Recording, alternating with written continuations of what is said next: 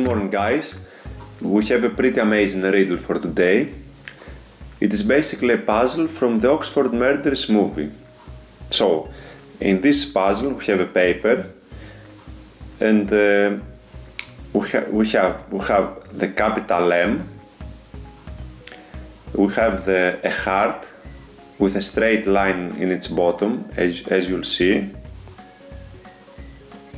And uh, above it, we have the number 8. Uh, this is a symbolic symmetry of some kind, and you are supposed to find the next symbol that goes under 8. It's a really hard puzzle, so start thinking or wait for the solution. Wait until I drink my coffee and uh, don't give up so easy. Wait some seconds uh, and wait, wait. Okay, let's see the solution. Uh, if you divide the, the paper in half, you see that the symbols are cut in half and reveal four numbers.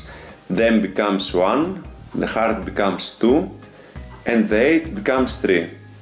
So we expect to make a symbol that uh, makes the number 4. Eh? Is it brilliant?